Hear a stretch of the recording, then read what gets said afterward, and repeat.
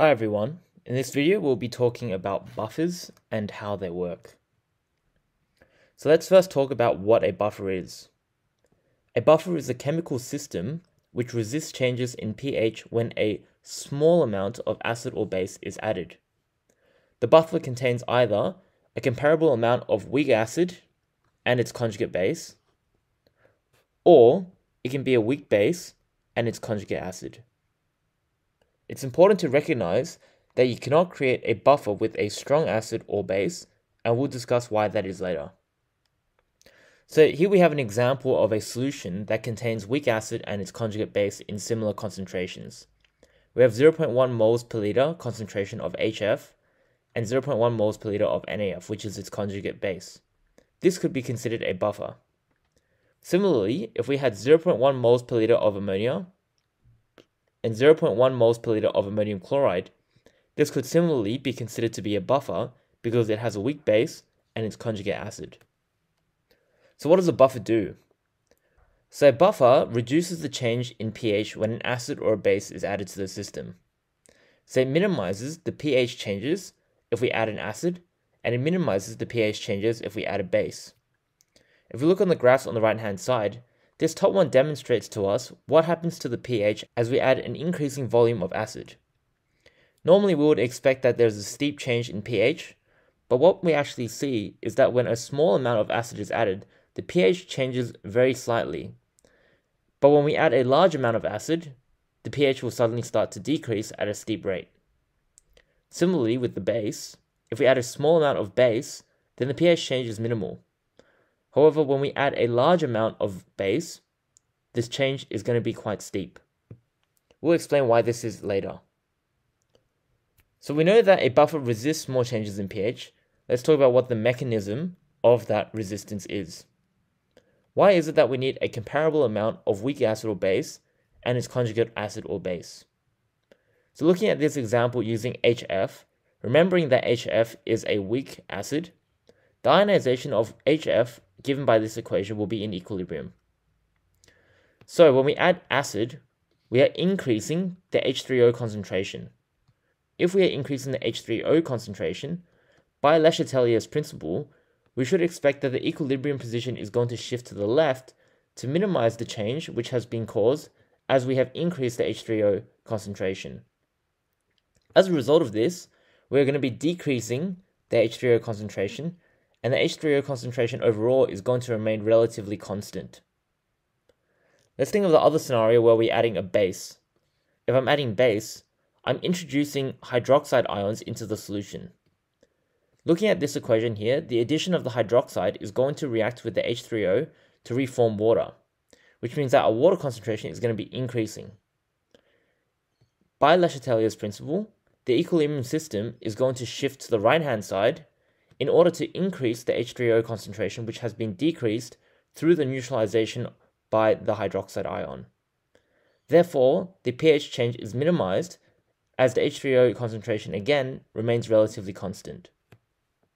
We did say that it's important to notice that this resistance in pH change is true only for a small amount of acid or base only. Looking at our example of hydrogen fluoride again, we're going to consider what happens when an excessive amount of acid has been added. So as I'm adding acid, I'm increasing the H3O plus concentration. In order to reverse this, the hydronium ion must react with the conjugate base, which is the fluoride ion, in order to reform HF. However, if I continue to add more and more H3O plus, eventually, because the fluoride ion has a fixed concentration, we are going to eventually run out of F minus in order for us to reform HF, the hydrofluoric acid. This means that at some point, when the F minus has decreased completely, the buffering capability is going to be gone, and there is not going to be conjugate base in order for us to buffer any changes as we add more H3O. This is why when we look at this pH chart here, we notice that when we add a large and increasing amount of acid, the pH starts to decrease more and more.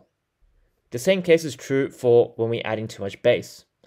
So when we're increasing base, we're increasing the hydroxide ion concentration, which as we said earlier is going to neutralize H3O plus in order to reform H2O. H3O plus has a fixed concentration, which means that as we keep adding OH, we are going to be decreasing the concentration of this until eventually it gets completely depleted and we end up adding OH minus. In the same occurrence, the buffering capability is decreased when we add a large amount of base and therefore the pH is going to be exponentially increasing as we add more and more base, although it has been minimized in the beginning. What we can now conclude about buffers is that we need to have weak acid in order to buffer base addition.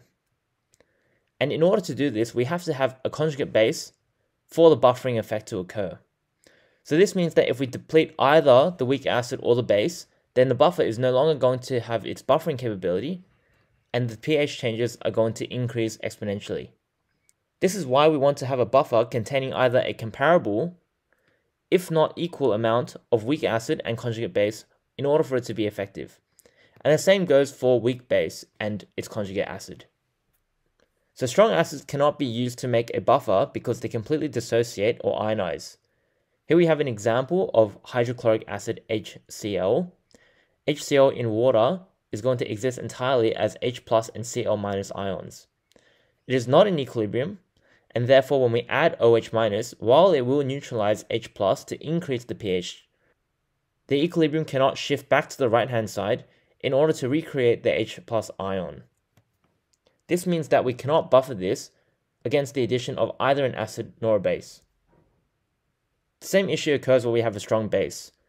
A strong base will completely dissociate or ionize, so in this example of sodium hydroxide forming sodium plus ions and hydroxide ions, this will neutralize the H plus ions when we add acid to it. However, because it is not in equilibrium, this cannot reverse the change by shifting back to the right hand side.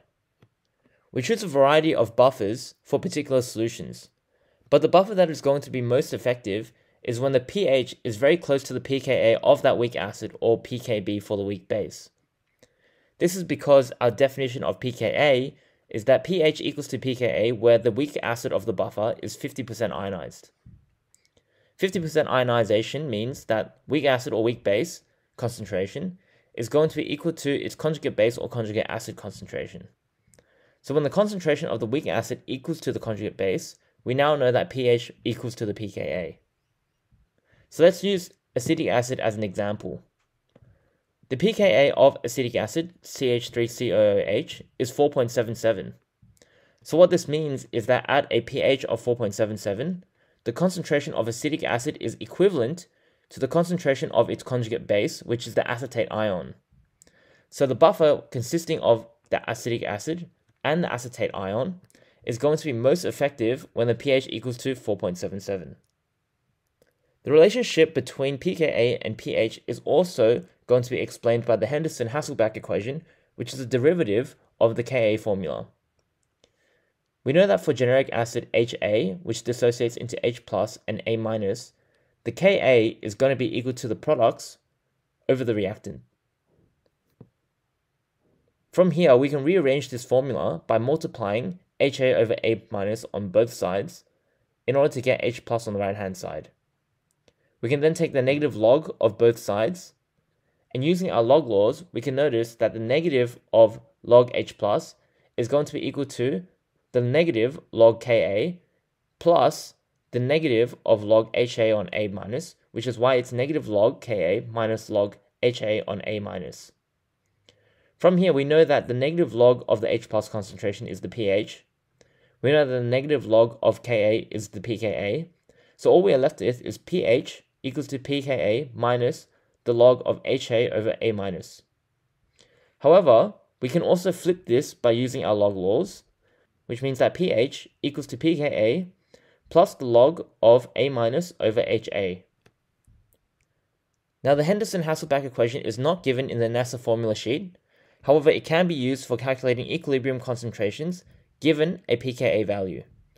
This formula can also be used for questions which assume that the initial concentration is equal to the equilibrium concentration of a particular system.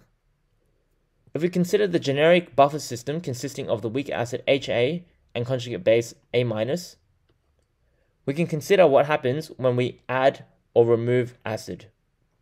So when we add acid, we remember that the equilibrium is going to shift to the left-hand side. This means that we are going to increase the HA concentration, and decrease the A minus concentration. So we know that where the pH is less than the pKa, the HA concentration must be greater than the A minus concentration.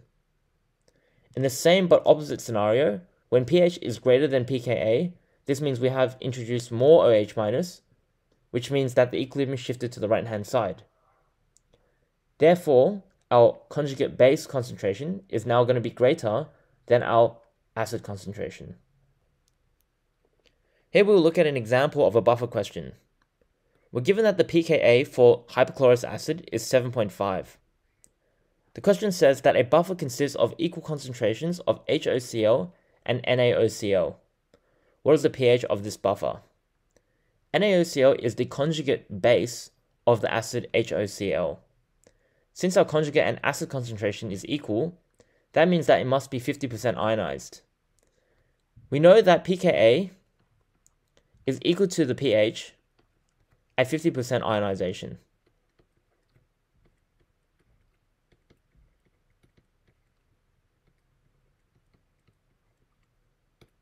Therefore, since this is at 50% ionization, we know that the pH must equal to 7.5.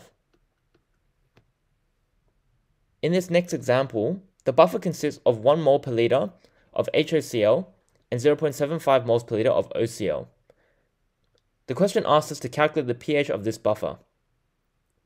If we remember our Henderson-Hasselbalch equation, we know that pH is equal to pKa plus the log of the concentration of the conjugate base over the acid. If we plug this into our calculator, what we should get is this equals to 7.5 minus 0.12, and that's going to give us a value of 7.38. The number of significant figures is 2, which means that we are going to give our pH as two decimal places. Several buffers also exist in natural and biological systems. Human blood uses the carbonic acid and hydrogen carbonate buffer system. The reason why this buffer system is necessary is because cellular respiration produces carbon dioxide, which then will dissolve into blood, and that's going to produce carbonic acid as given by our equation. This buffer is going to be necessary because it helps to regulate the pH of the blood, which affects the structure of cells and proteins that are in the body. Cells will use the phosphate buffer system as internal fluids of cells contain dihydrogen phosphate, and its conjugate base, hydrogen phosphate.